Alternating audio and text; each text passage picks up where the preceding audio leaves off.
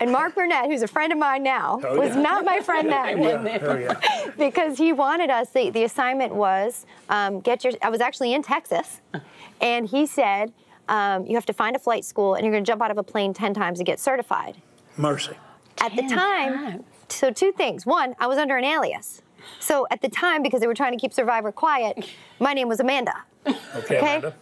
Here's a word to the wise. When you're trying to jump out of a plane and take a lesson in emergency situations, you might want to use your real name.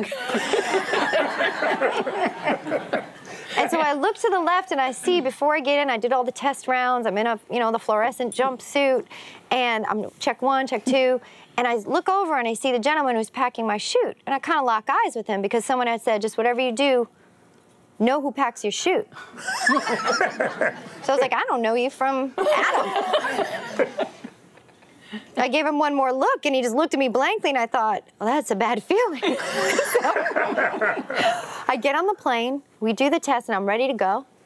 And all of a sudden, check one, check two, and I think I jumped. I hit something hard. Oh, no. Well, it was the inside of the plane and everyone's screaming, Amanda, Amanda. They whipped me back into the plane. And they said, Amanda, we've been calling you. You can't jump yet. Some paperwork didn't go through. Oh. And I'm thinking, my name's not Amanda. Listen, everybody at about 5,000 feet of altitude was so confused. And I learned two things. One, the reason why I was worried about who packs my chute was because in life we have these free fall situations. We're about to take a big jump.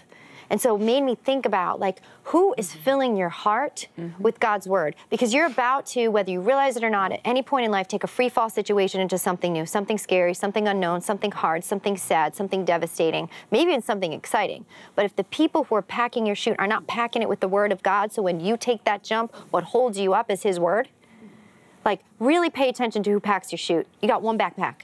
So I like to know who's packing my chute, and I try to be a good chute packer for other people. And two, you can, up to a point, live or try to maintain someone else's identity.